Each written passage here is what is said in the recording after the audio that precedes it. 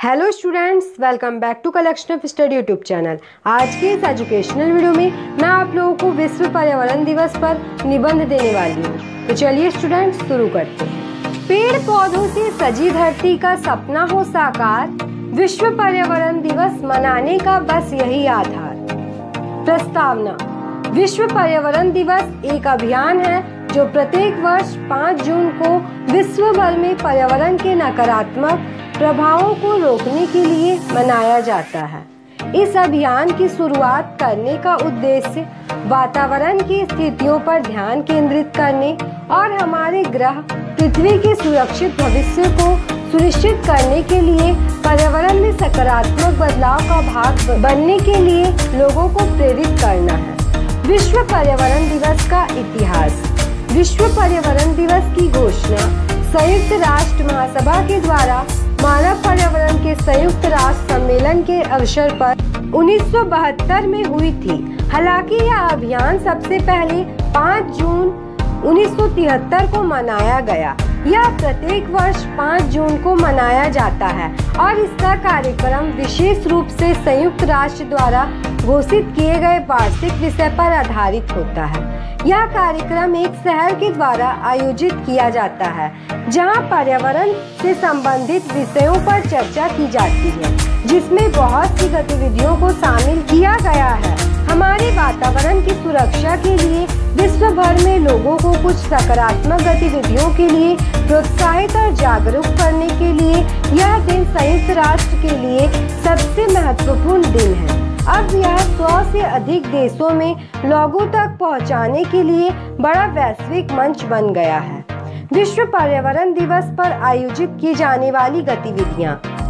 विश्व पर्यावरण दिवस कार्यक्रम भारत में विशेष रूप से स्कूलों और कॉलेजों में विभिन्न गतिविधियों के माध्यम से मनाया जाता है।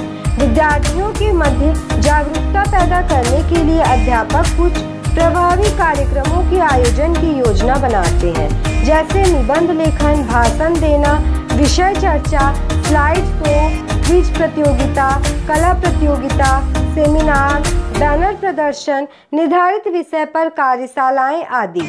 हमारे वातावरण भी सुरक्षा के संदर्भ में विद्यार्थियों को सकारात्मक गतिविधियों के लिए प्रोत्साहित करते हैं। पर्यावरण संरक्षण के उपाय।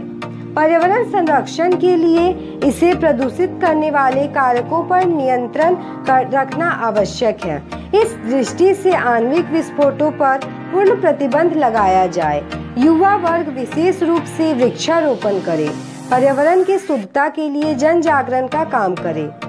विषैले, अपशिष्ट वाले उद्योगों और प्लास्टिक कचरे का विरोध करे।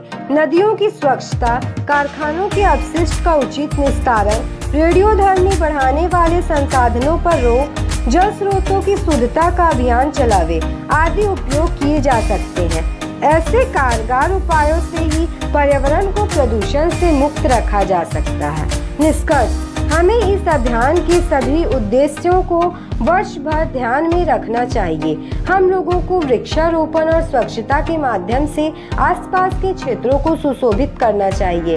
बेहतर भविष्य के लिए, पर्यावरण की सुरक्षा के लिए हमें अब हमारे देश में पर्यावरण के अनुकूल विकास को बढ़ावा देना चाहिए।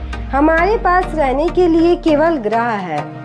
यह हमारा घर है और केवल हम ही इसके प्राकृतिक सौंदर्य को बनाए रखने के लिए जिम्मेदार हैं। प्रदूषण ना होने देंगे, जी भर के पेड़ लगाएँगे। केवल एक नहीं, बल्कि हर दिन पर्यावरण दिवस मनाएँगे। स्टूडेंट्स इसी के साथ ये वीडियो कंप्लीट हो गया। यदि आपको वीडियो अच्छा लगा तो वीडियो को लाइक कर दीजिए और चैनल पे नए हैं तो चैनल को सब्सक्राइब करके बेल आइकन को प्रेस करके ऑल पे प्रेस कर लीजिए, क्योंकि मैं आपके लिए ऐसे एजुकेशनल वीडियोज़ लाती रहती हूँ। स्टूडेंट्स यदि आप किसी और टॉपिक पे निबंध चाहते हैं तो नीचे कमेंट बॉक्स में कमेंट करना बिल्कुल नहीं भूलिएगा। Thanks for watching